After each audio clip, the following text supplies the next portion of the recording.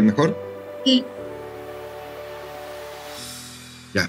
Este, entonces la intención de Tarde de Ciencias es dar a conocer a un público más amplio, este, a un amplio público, perdón, este, las líneas de investigación o los trabajos que se vienen desarrollando por investigadores dentro de la Universidad de Recosana. Entonces, es verdad, un gusto este, tenerlos a todos aquí y, este, y ah, hoy vamos a tener la, participación de la doctora Rosa Isela Guzmán. Bienvenida, doctora. Ya la estoy viendo por acá. ¿Qué tal? Buenas tardes. Y, este, y voy a platicar de, de, un tema que, que, nada más de verlo se antoja. Entonces, este, porque son tortillas muy ricas, las tortillas de maíz azul. Y ahora que estaba revisando los comentarios sobre sobre las bondades de, de, esta, de este maíz y de esta tortilla, no, no tenía idea de que fueran estas particularidades tan, tan, tan gratas en este, en este alimento, y este, que de por sí ya es bastante exótico ver una tortilla azul, ¿no? Pero es más increíble todos los, los componentes que contiene y lo saludable que es. Ya no los platicará en detalle la doctora Rosicera, ya no me adelanto más. Este, muchas gracias, doctora. Y este, muchas gracias a, Gladys y a su equipo de trabajo. Y ya nos estaremos viendo aquí todos los, los martes a las 5 de la tarde y, este, y pues con gusto estaremos por acá. De mi parte es todo. De nuevo, bienvenidas, bienvenidos y pues adelante. Muchas gracias. Buena tarde. Gracias, doctor.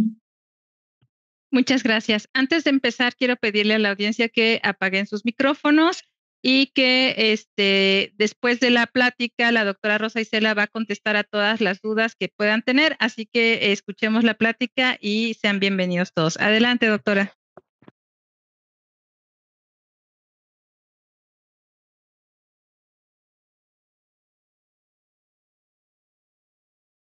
Pues buenas tardes. Agradezco la oportunidad que se me brinda para participar en Tardes de Ciencia con el tema Maíz y tortilla azul, sus bondades en la salud. Así también agradezco a la doctora Gadis y al doctor Centeno, director general de investigaciones, por esta oportunidad.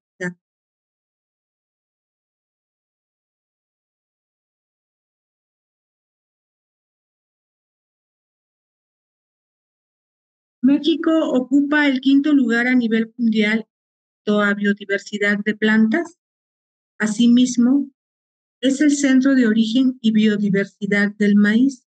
En nuestro país existen 59 razas de maíces de diversos colores, como pueden ver. Hay maíces cuyos eh, granos son de color blanco, amarillo, azul, naranja. Y estos granos son utilizados principalmente para la elaboración de tortillas, que es el alimento básico de la dieta de los mexicanos.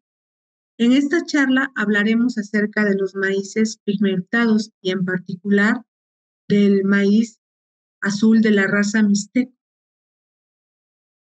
El color, eh, estos eh, maíces han cobrado interés en los últimos años su importancia económica es tal que actualmente el costo del maíz, de un kilo de maíz eh, azul, es casi tres veces el precio del maíz blanco. Recordemos que en México, para elaborar las tortillas, se utilizan principalmente los granos de maíz blanco y amarillo. Como mencioné, pues es el alimento básico de la dieta de los mexicanos. Se menciona que el consumo per cápita de los mexicanos de tortillas es aproximadamente nueve tortillas por día. Estas tortillas eh, azules deben su color a las antocianinas. Aquí quiero eh, mencionar algo porque he visto que en las redes sociales se preguntan mucho acerca de cómo saber si una tortilla es de maíz azul, ¿no? Es muy sencillo. Ustedes colocan la tortilla o de limón y si la tortilla se decolora, se despinta, es tortilla azul. ¿Por qué? Porque el ácido ascórbico, es decir, la vitamina C, degrada las antocianinas si el color se mantiene, no es de, maíz azul. Pero no solamente los maíces eh, azules tienen estos pigmentos, también los encontramos en la morada, en la cebolla morada, eh, morada, en los frutos rojos como la zarzamora, la fresa, es decir, existen diversos vegetales y también frutos que los contienen. Pero pues en México eh, lo que comemos es tortilla, y qué bueno que tengamos una tortilla azul. Estos pigmentos se encuentran en el grano principalmente en lo que sería la superficie, el carpio y la capa zona del grano. Y estas antocianinas eh, que dan color a estos maíces azules y rojos también, proviene la palabra del griego antos flores, llanos azul. Su estructura es la que mostramos aquí en esta diapositiva, en la cual observamos que eh, la estructura base es una antocianidina, seguida unida a un azúcar y eso forma la antocianina. Sus colores pueden ser variados, van desde los morados, rojos, azules, yendo del tipo de antocianidina que esté presente en la estructura. Aquí en la siguiente diapositiva observamos la cianidina, lado izquierdo, que es la antocianidina, después unida a un azúcar, que es caso una glucosa, es la cianidina 3 glucósido, que es la más abundante en la naturaleza. Aquí también puede estar unida a dos azúcares, como sería cianidina 3 diglucósido, bien, no solamente unida a un azúcar, sino también unida a un grupo asilo. Y lo menciono porque se ha reportado que en los maíces la forma en la que están presentes las antocianinas, su estructura, principalmente esto es asilada, tiene importancia, que son más estables a diversos factores que pueden afectar su estructura. En este caso, hay factores que influyen en la estabilidad de la estructura de estos compuestos, como es la temperatura, luz, pH y la matriz en la que están. Estos aspectos se deben de considerar que son importantes al momento de querer hacer un estudio, un proyecto de investigación, ya sea que se quiera evaluar un alimento tradicional como es la tortilla o quieran desarrollar un jugo como el jugo de zarzamora o bien quieran elaborar extractos de estos compuestos, estos factores deben de ser considerados, deben ser tomados en cuenta para poder realizar los estudios. Y eh, lo menciono porque la nixtamalización, que es el proceso a través del cual los granos de maíz se, eh, se transforman en tortilla, tienen estos eh, factores. Por ejemplo, al momento de iniciar el proceso de nixtamalización, el grano se coloca en agua y se adiciona, en este caso, cal y se, se cuece a cierta temperatura, entre 15, arriba, bueno, se hierve y durante cierto tiempo, 15, 45 minutos, depende del grano.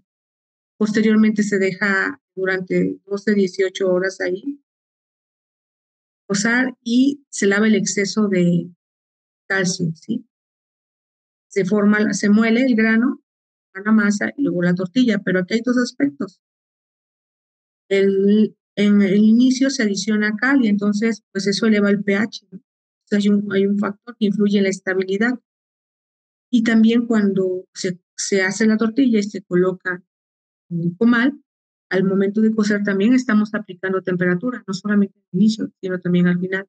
Sin embargo, hay que mencionar que la tortilla mantiene el color, sigue azul, y eso se debe a los compuestos que contiene, que se llaman antocianinas aciladas en su mayoría. Dependiendo del maíz, y algunos han reportado hasta 70% de estos. Estas antocianinas, además de dar color, también tienen muchas propiedades biológicas. Por ejemplo, propiedades antioxidantes, antiinflamatorias, neuroprotectoras, antiproliferativas en diversos tipos de cáncer, antihipertensiva, también mm, tiene efecto hipoglucemiante, es decir, que disminuye los niveles de glucosa en sangre, disminuye también la acumulación de grasa abdominal, es decir, también un efecto anti-obesidad. Y ante todas estas propiedades que se han reportado para diversos frutos, pues dentro del grupo de investigación nos planteamos, ¿y con la tortilla? ¿Cuáles son los alcances de los compuestos que tienen los maíces y las tortillas azules? Así que el primer eh, objeto de estudio de estas investigaciones, pues nos llevó a evaluar eh, granos de maíz de la raza mixteco provenientes de la mixteca oaxaqueña. Eh, este trabajo se realizó en conjunto con el CIDIR Unidad Oaxaca, en, el cual el doctor José Luis Chávez Servia nos proporcionó estos maíces, esta colecta que él seleccionó. Fueron 16 muestras del maíz azul de la raza mixteco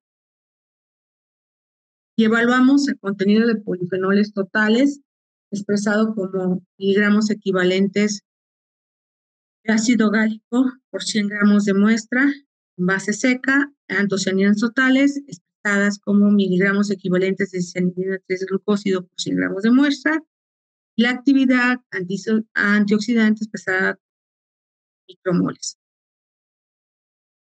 Por otra parte, una vez que evaluamos estos estos compuestos en todas las muestras, lo que decidimos, pues eh, ver ahí con base al, contenido de muestra íbamos a utilizar, no íbamos a utilizar todos los maíces. Seleccionamos una muestra que es la CIDIR 125 por su contenido de antocianinas.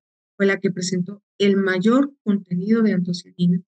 Y de esta muestra procedimos a realizar extractos. Extractos eh, de los compuestos que le dan color, en este caso de antocianinas, y se los administramos a ratas con síndrome metabólico inducido. Este es el primer trabajo que realizamos, publicado en el año de 2017. El síndrome metabólico es, de acuerdo a la Organización Mundial de Salud, la presencia de alteraciones en la glucosa en sangre y la resistencia a la insulina. Y si además se le suman dos de las siguientes manifestaciones, como puede ser hipertensión arterial, dislipidemia, obesidad, es decir, cintura, de grasa en la cintura, obesidad, lo que podría conllevar a la persona que presente estas alteraciones a padecer diabetes o alguna enfermedad cardiovascular. De ahí la importancia para nosotros de hacerlo en este tipo eh, de modelo animal, porque recordemos que es un problema de salud pública en México, tanto la diabetes tipo 2 como la obesidad. Estos son los criterios según la Organización Mundial de la Salud para declarar persona podría tener además tiene los niveles de glucosa elevados y resistencia a la insulina, algunos de estos, estos parámetros, síndrome metabólico. De acuerdo a un estudio realizado, los mexicanos tenemos, eh, respecto a los anglosajones y afroamericanos, principalmente las mujeres, mayor predisposición a, tener, a padecer síndrome metabólico. Como pueden observar, el número de adultos se menciona en la diapositiva es sumamente alto, al, menos al 2018 en México padecían síndrome metabólico. Riesgo de desarrollar por lo menos 2 millones de personas diabetes mellitus y POMS. Es así que se indujo en ratas macho Wistar síndrome metabólico. ¿Cómo se induce?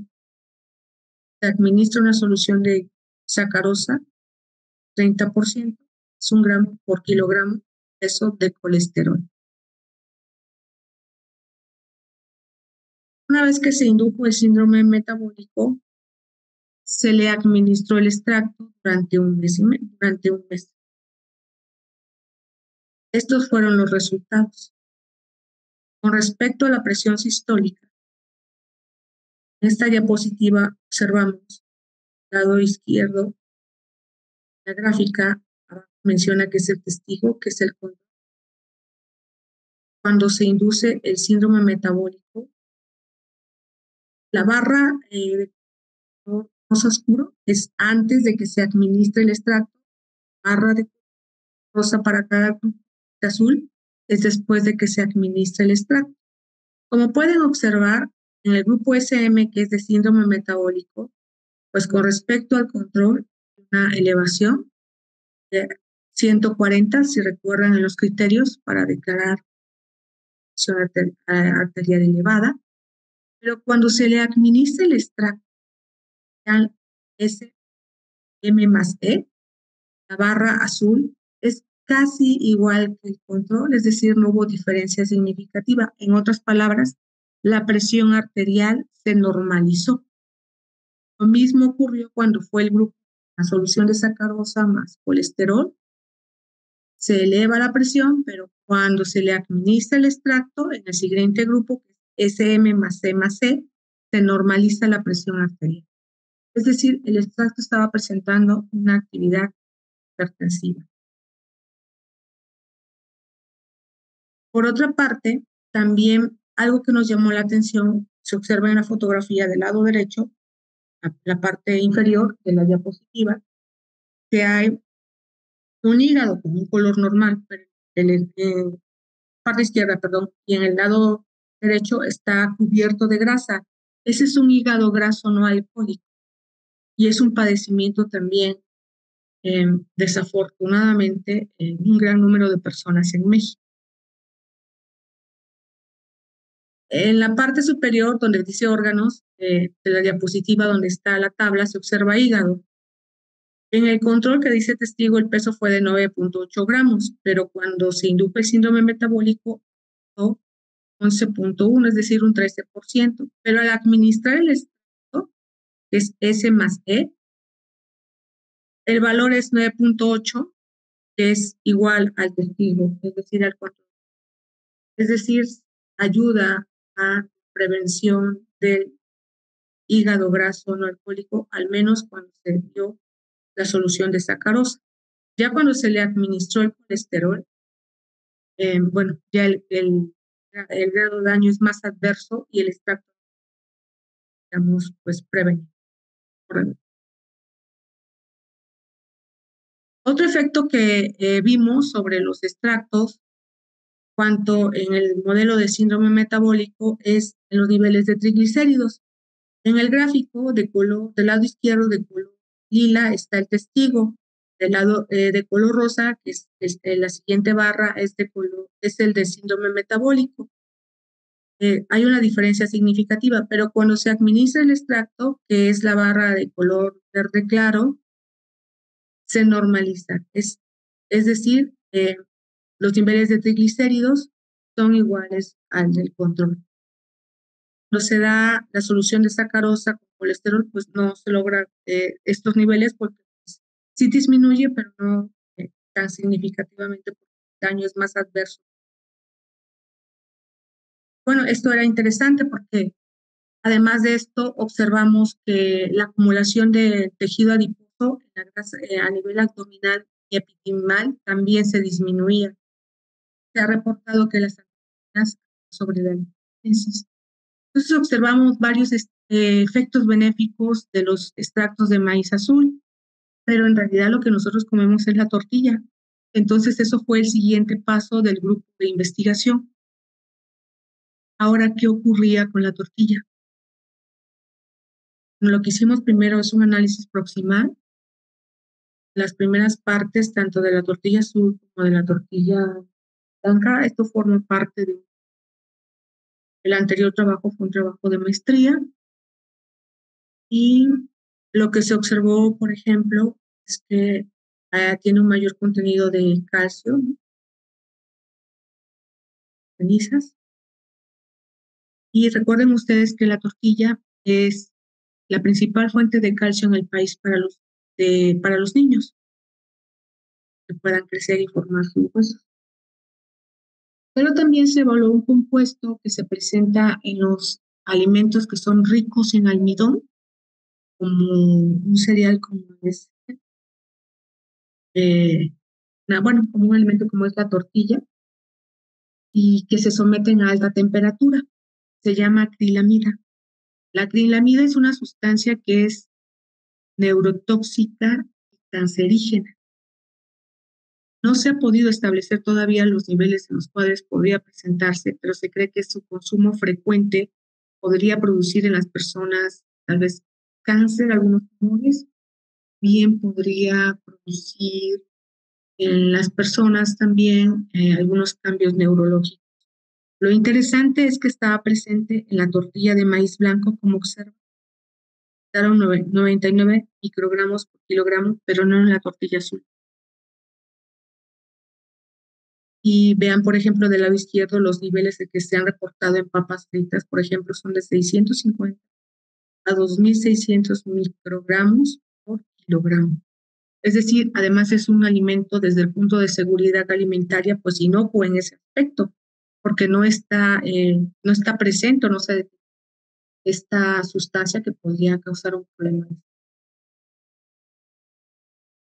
Una vez que se evaluó este aspecto, fue pues que, eh, qué cambios estaban ocurriendo con respecto a, a, las antocianinas cuando ya se elaboraba la tortilla. Observábamos que había un 60% de pérdida con respecto al contenido del maíz, a la forma original, ¿no? A la base de la elaboración de la tortilla, pero observamos que la actividad antioxidante no estaba variando y eso nos llamó la atención. También que se estaba polimerizando el compuesto, de acuerdo al dato. Entonces lo que hicimos en la siguiente parte fue evaluar la eh, inhibición de la peroxidación lipídica de BARS tanto del extracto de tortilla como del maíz azul, los dos extractos, y nos encontramos con que la IC, la cantidad IC50, para inhibir el 50%, eran muy similares. Y la pregunta era qué estaba ocurriendo porque, pues, teóricamente, pues estaban degradando las antocianinas, pero parecía que, es, que tenían las mismas actividades antioxidantes.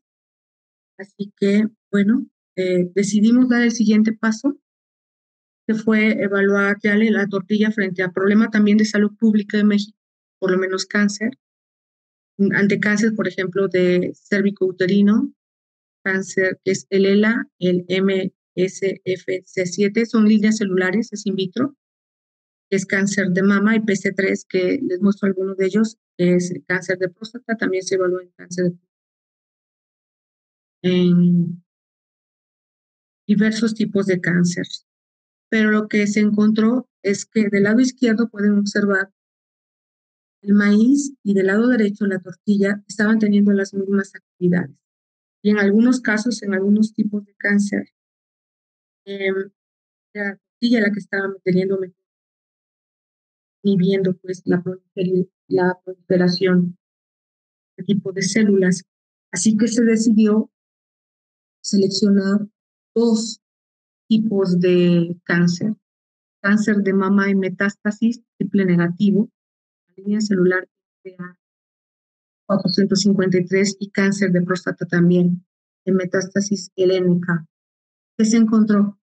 Cuando las antocianinas, ya no el extracto, se aplicaba, concentraciones aproximadamente de 400 microgramos. Una inhibición 30% de estas células, pero también se encontró en el ciclo celular. El ciclo celular de la, eh, del cáncer, la carcinogénesis, tiene una iniciación, una promoción y una progresión. Cuando se evalúan este tipo de compuestos, se busca que actúen sobre la primera fase del cáncer, que es eh, las, eh, la fase G. Y lo interesante es que cuando se hizo citometría de flujo para ver los alcances de estos compuestos en estas líneas celulares, NAMBUS, las antocianinas estaban deteniendo a, el, avance del cáncer precisamente en la fase 1, en la fase G.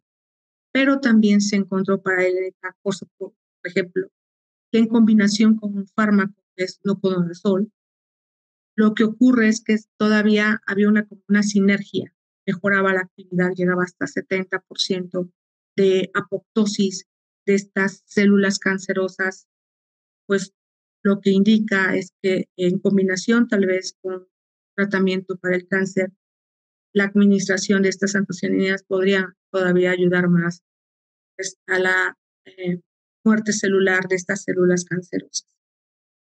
Todo esto fue in vitro. Y nos preguntábamos entonces, estábamos teniendo estos resultados? Pues evaluamos los granos, hicieron micrografías y yo mencioné al principio que se, se, se dice en la literatura que es muy pericardio, capa neurona del grano, pero resulta que el misteco está en el endospermo, este el almidón.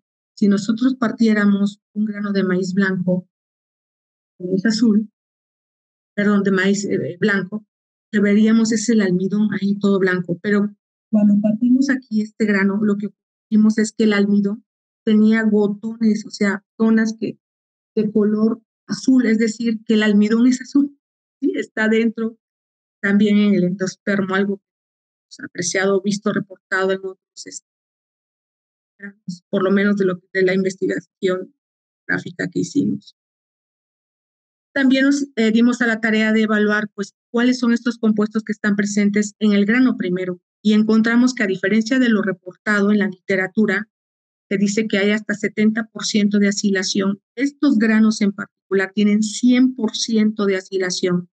Es decir, todas las antocianinas que están presentes, que reportamos son, que son ocho que identificamos, son asiladas.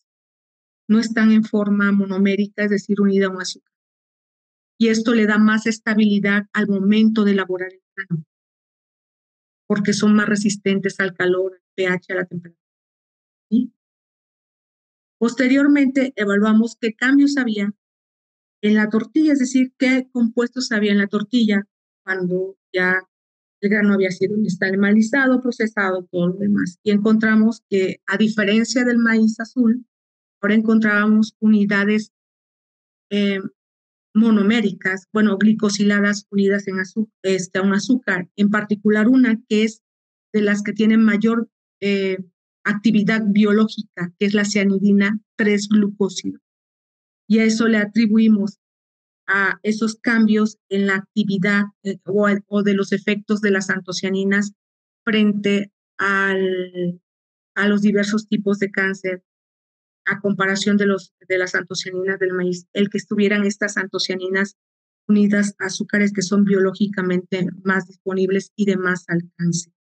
Eso es lo que estaba ocurriendo. De tener ocho compuestos, ahora teníamos 24 compuestos y muchos de ellos polimerizados, como lo hemos visto desde forma de vista cuantitativa. También había en forma. Otro estudio que hicimos ya después de ver esto, pues ver, y bueno, esto es en cáncer, pero por ejemplo, a nivel, este, un grupo de investigación eh, de la Universidad de Guadalajara, qué ocurría eh, con respecto al, a su efecto, por ejemplo, en hipocampo. El hipocampo es la zona del cerebro con la cual nosotros este, aprendemos y, por ejemplo, en el Alzheimer se ha visto que los pacientes que tienen este, Alzheimer, que lo han padecido, hay una disminución el tamaño del hipocampo. Entonces se le administraron tortillas en, cantidades elevadas, ¿eh? arriba de 35 tortillas diarias. A lo mejor para nosotros que llevamos una vida más sedentaria es mucho, pero albañil sí se las come. La física que sí. Pero lo que encontramos aquí es que si observan aquí en, en la gráfica del lado izquierdo dice área hipocampal. Entonces, el control ¿sí? Pero cuando se le administra la tortilla donde se experimenta una dosis elevada, aumenta el área del hipocampo. Y lo mismo se encontró para las neuronas del lado derecho en la gráfica. En el control observen dónde está la barra, arriba de 50. Pero aquí el área nuclear aumentó de las neuronas. Se observaba un efecto. Dijimos, bueno, es una cantidad muy elevada de tortillas que hay que comer, pero tienen alcances. ¿Serán las antocianinas? Sí. se administraron las antocianinas y efectivamente se comparan los controles y son las antocianinas del maíz como observan la diferencia significativa las que tienen esos alcances en el hipocampo. Eh, aquí lo que vimos, mencionamos en la tortilla, los compuestos que identificamos, se encontró la cianidina 3-glucósido, por ejemplo. Este compuesto tiene la característica de poder atravesar la barrera hematoencefálica del cerebro. Y ya se ha reportado, se ha, se ha este, reportado que sí está presente en algunos estudios en animales de los alcances. Eh, pero además, el maíz, eh, no solamente del maíz se produce la tortilla, el maíz tiene muchísimos usos en la industria. Uno de ellos es utilizar el almidón. El almidón se utiliza en la elaboración de muchísimos productos alimenticios, más de los que ustedes imaginan. Pero lo que observamos es que ese almidón estaba azul. Entonces decidimos elaborar un almidón azul. Y con la ayuda del doctor Egner Azuara, del Instituto, eh, eh, en esa época que estaba eh, en el instituto, eh, decidimos eh, ese aspecto en nanotecnología, elaborar un, maíz nanoestructurado.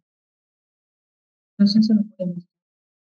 Del lado derecho es el almidón nativo y del lado izquierdo, se ven en las cajas Petri, es el maíz eh, nanoestructurado, el almidón, como ven es de color puro, y eh, se hicieron micrografía, este, microscopías de fuerza atómica para observar qué cambios estaban ocurriendo. De lado, en la parte de abajo se observa eh, de color azul, donde dice eh, A, donde está la caja PET letra A, abajo se observa como un césped. Del lado derecho, donde está la capa, caja PET, la letra B, abajo se ven como crestas o valles. Eso es lo que está ocurriendo en la superficie se estaba ordenando la superficie, como decía, más física, menos química.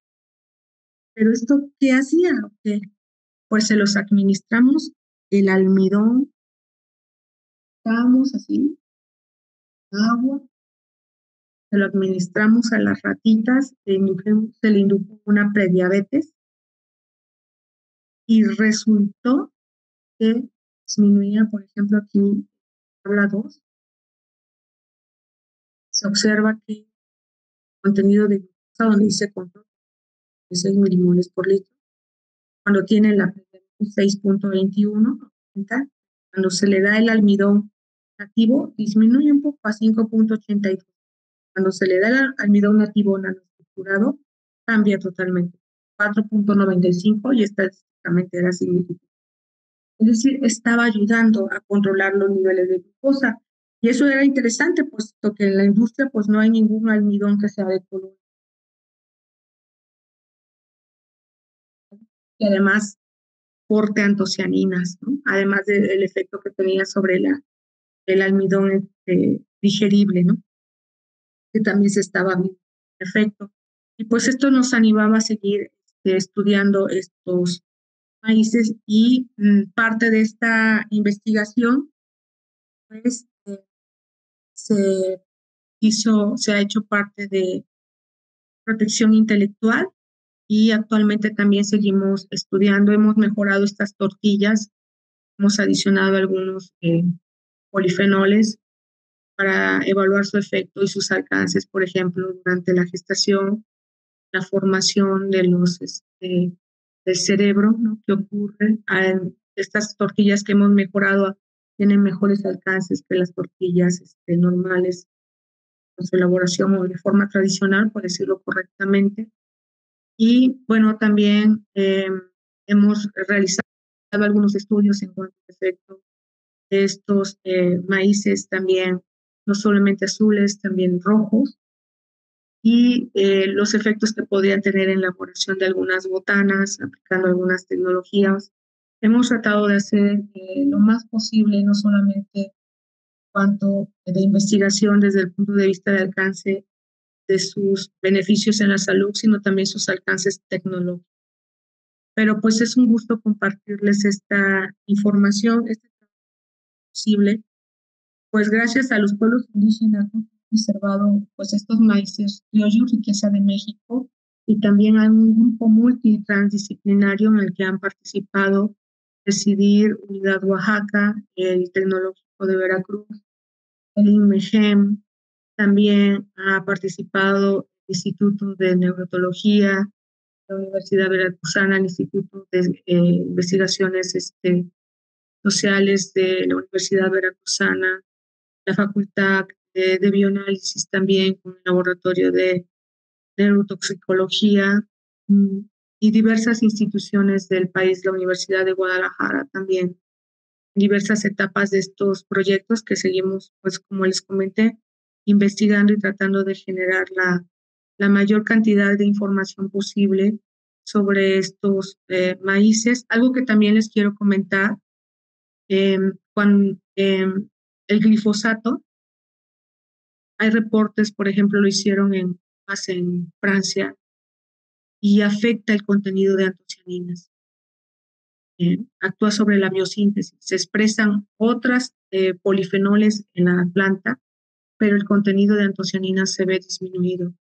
Así que considero importante que estos pues, maíces sean protegidos eh, y preservados como los, estos pueblos indígenas. Pues muchas gracias a todos.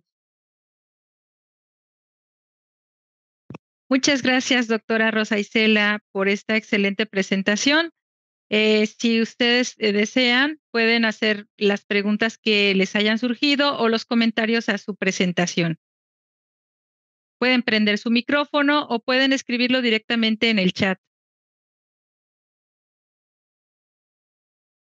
Mientras se animan, les cuento que la doctora Rosa Isela Guzmán Jerónimo es una distinguida académica con una licenciatura en química industrial, así como una maestría y doctorado en ciencias con especialidad en alimentos. Actualmente es investigadora del Instituto de Ciencias Básicas aquí en la Universidad Veracruzana. Adelante, doctor Roberto. Eh, muchas gracias, este, doctora Gladys. Eh, muchísimas gracias, doctora, por compartirnos todas estas desconocía completamente particularidades del maíz azul. Es prácticamente un oro azul lo que tenemos ahí. Se ve muy bien. Este, eh, y a partir de todas estas bondades que me platica y todas estas perspectivas tan interesantes que tiene, ¿qué considera usted que está pasando porque no se expande la producción del maíz azul? Este, seguimos con, con, con el maíz amarillo predominante, pero viendo la parte económica, ¿no? Que mencionaba que el costo por kilo del maíz y la tortilla y todo esto azul es más caro, todas estas como, como bondades nutrimentales que podrían hacerlo como una especie de tortilla especial, ¿no? Para, para población diabética o con ciertas características. ¿Qué cree que podría estar pasando ahí? Que se desconoce mucho de esto y esto ha hecho que no, que no este, se, se, se, se, se potencialice el cultivo y, la venta de este maíz. Eh, eh, usted que tiene más experiencia en este campo, ¿qué cree que está pasando ahí?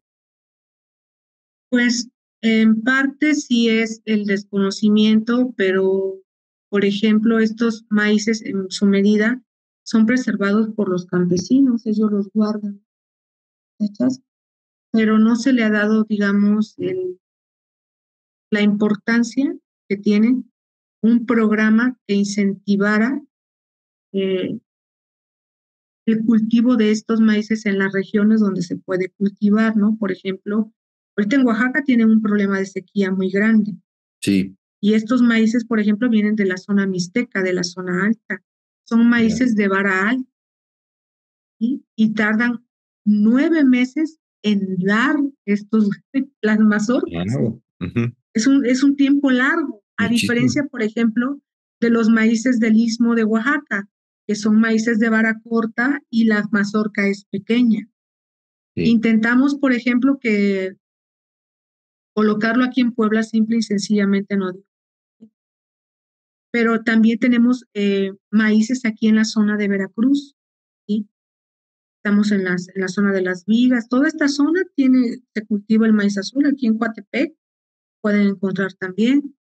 Eh, en Puebla también es otra zona. Tenemos zonas muy cercas, pero no se le ha dado la importancia, yo creo, económica ni se ha incentivado. Nos, hemos convertido en un país importador de maíz. Sí. Pero también las condiciones del campo, hay que decirlo, ¿no?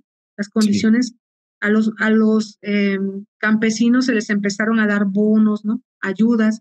Se dejó de cultivar, se dejó de cultivar, pero pues yo creo que dándole las condiciones que merecen como trabajadores, las condiciones por lo menos humanas, ¿no? En cuanto a su trabajo. Pues esto, estaba leyendo el caso de un, de un agricultor que eh, preservó estos maíces y ahora este, estaba contándole cómo empezaba otra vez este, a, a sembrarlos y estaba teniendo pues ganancias. Pues lo mismo puede ocurrir con muchos, este, pero yo creo que se necesitan programas de gobierno, y viene ya, ya en los programas. El trabajo de nosotros es pues mostrarle la riqueza que tienen, como usted lo dijo, el oro azul, ¿no? Ahí lo tienen enfrente. Sí, Ahora el trabajo de ellos pues es este, los programas. Ya. Muchas gracias, doctora. Oiga, y rápido, rápido, otra pregunta para no robarle el tiempo a, las demás personas que pudieran, quisieran participar.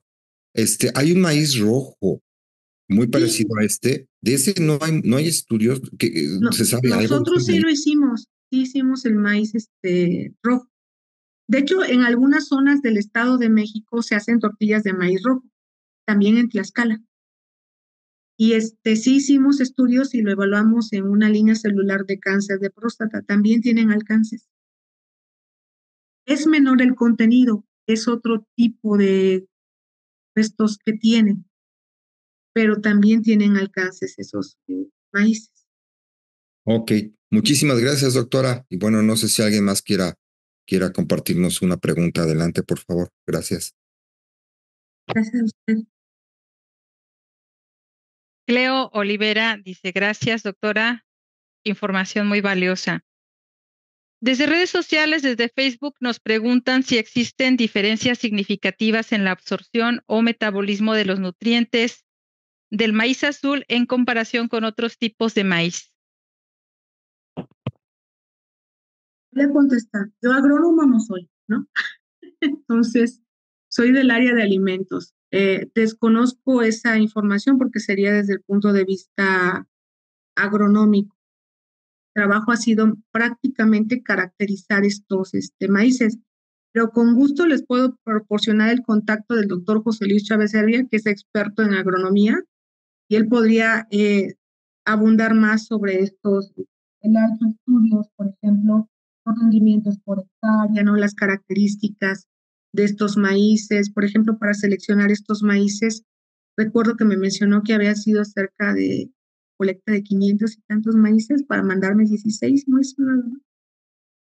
Y todo el trabajo agronómico fuerte, que no es mi trabajo de investigación, es trabajo del doctor y el mérito de él para poder eh, hacer posible que estos eh, maíces llegaran a nuestros eh, laboratorios y nosotros lo estudiáramos desde el punto de vista de alcances, pero de en cuanto a salud, en cuanto a elaboración de alimentos.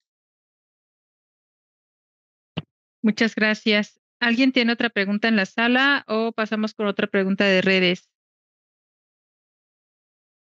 En redes nos, nos, preguntan qué recomendaciones prácticas pudieran tener para integrar el maíz y la tortilla azul en una dieta saludable.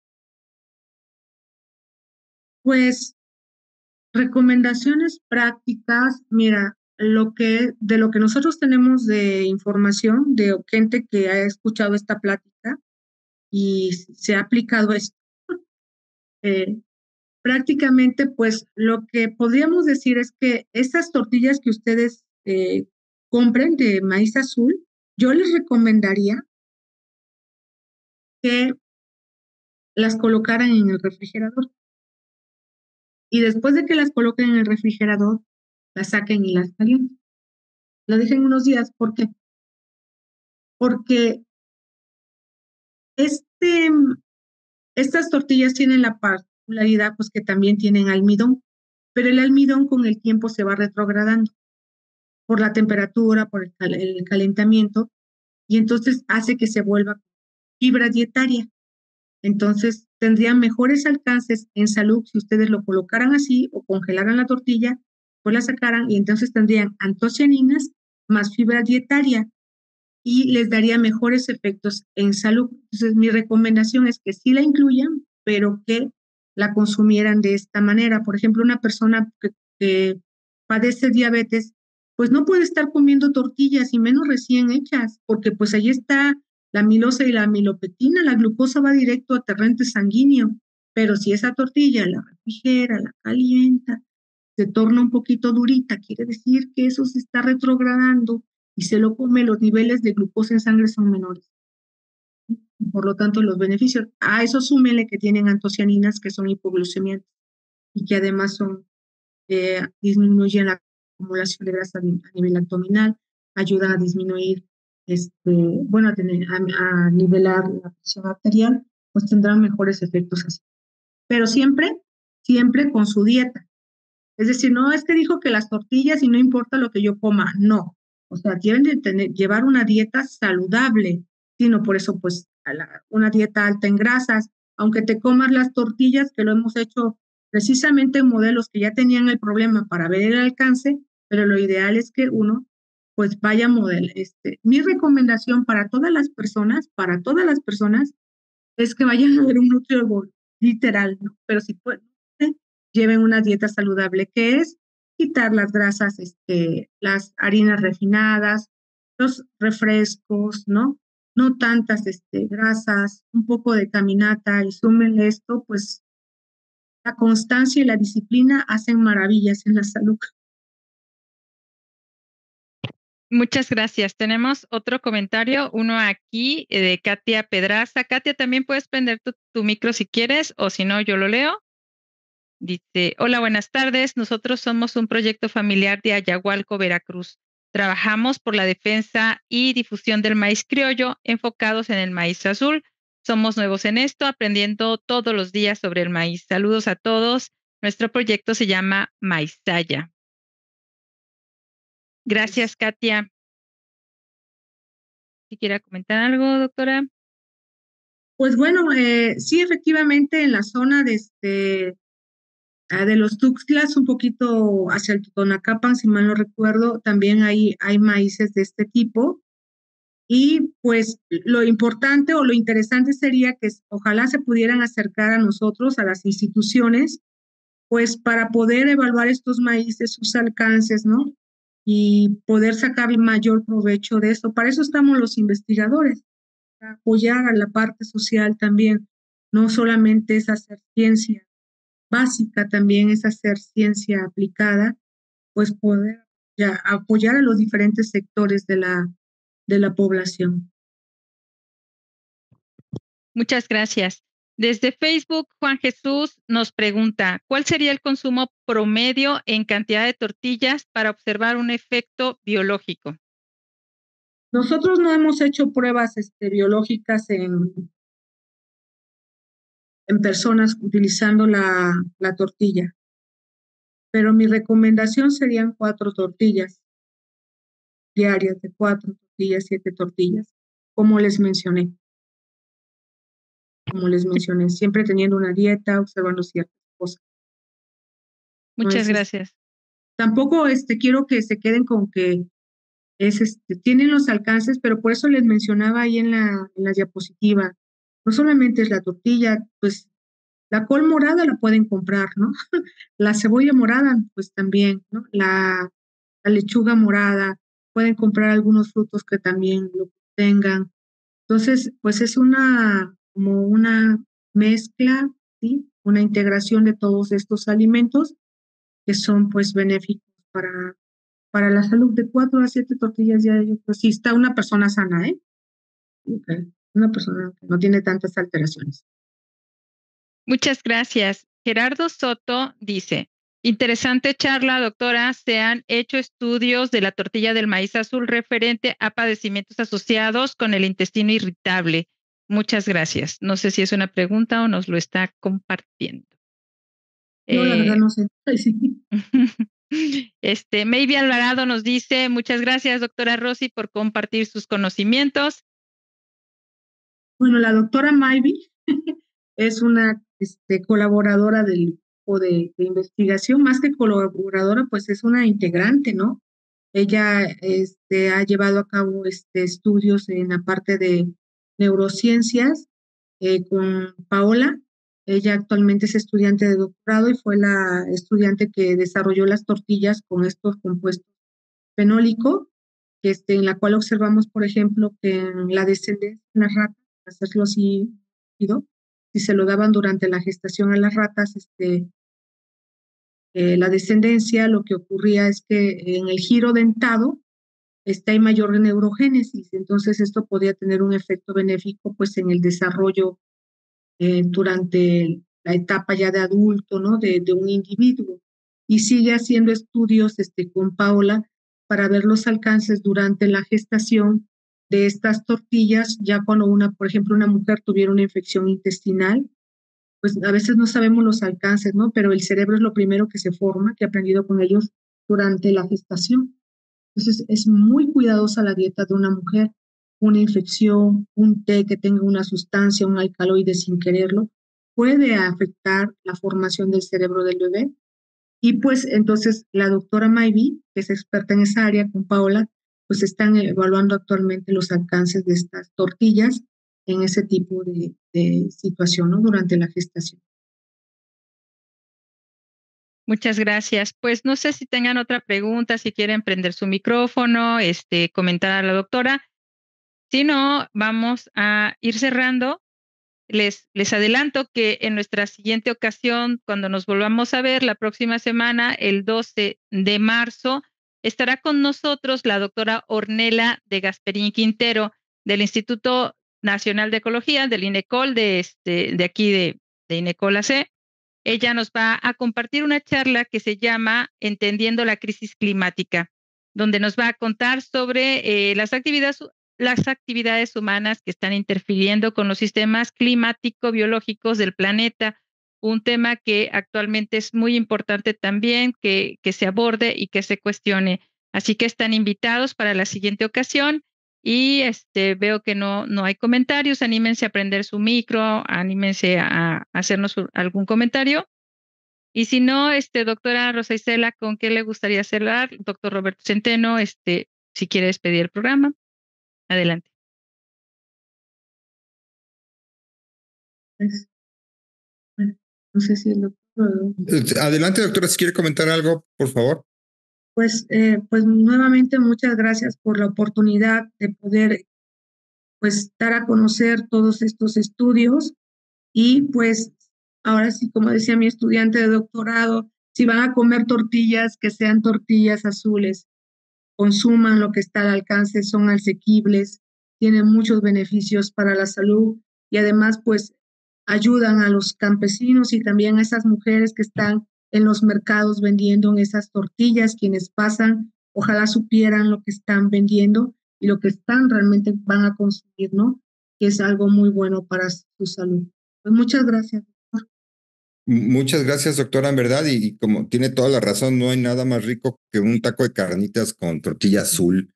Entonces, este, les invitamos a que cuando vean un paquetito de tortillas azules, este, pues las compren y apoyen, como bien dice la doctora Recisela, a, a, los pequeños productores. Este, les agradezco muchísimo, este, en verdad, la, la, la participación y su presencia. Fue bastante enriquecedor el, compartir este, con ustedes toda la, la, información que nos presentó la doctora Rosa Isela Guzmán. Le agradecemos muchísimo, doctora, este, y pues eh, así como este es el botón de muestra para todo lo que se vendrá todos los martes en las 5 de la tarde, nos vemos por aquí. Y este es un abrir de boca nada más, ¿no? Ya me quedé clavado yo en cosa de la comida. Perdónenme ustedes por la hora un poco.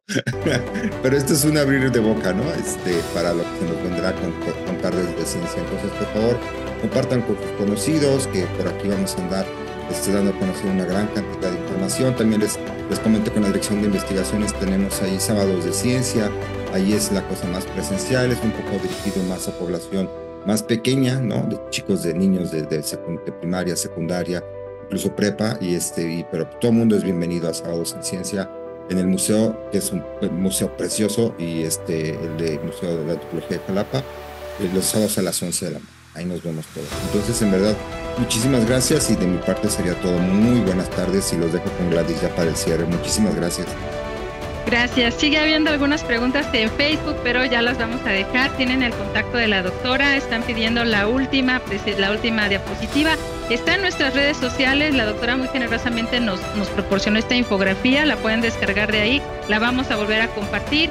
Y esto es todo por hoy. Que tengan una excelente tarde de ciencia. Nos vemos la próxima semana a las 5 de la tarde en este mismo sitio. Hasta la próxima. Gracias, doctora Rosa Isela. Gracias a usted, doctora Gladys. Gracias a todos por asistir. Hasta luego. Gracias, doctor. Hasta a usted, hasta luego.